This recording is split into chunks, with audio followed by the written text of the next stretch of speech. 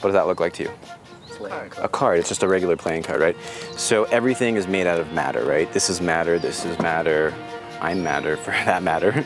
Um, I do matter, and so do you. Um, you've got a proton, neutron, electrons. They're all subatomic particles. And if we change the particles, we alter them just a little bit here. Um, go ahead, sign your name right there. Right there.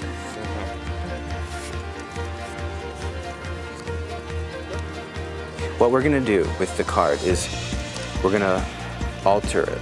We're gonna change the, the, the card by simply by ripping it, right? Then you take the two pieces, rip it into four pieces. And we're gonna actually try to fuse the atoms together, okay? Watch. Fuse them together.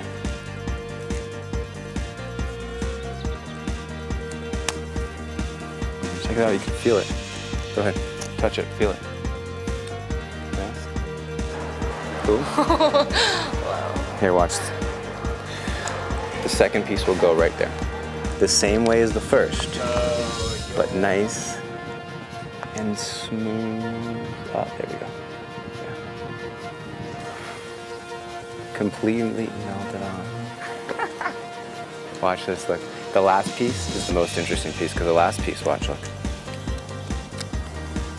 Comes up like butter. Watch.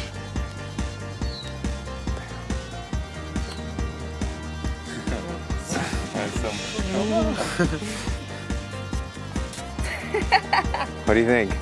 That's cool. That's really cool. That's crazy. Cool. what? That's crazy.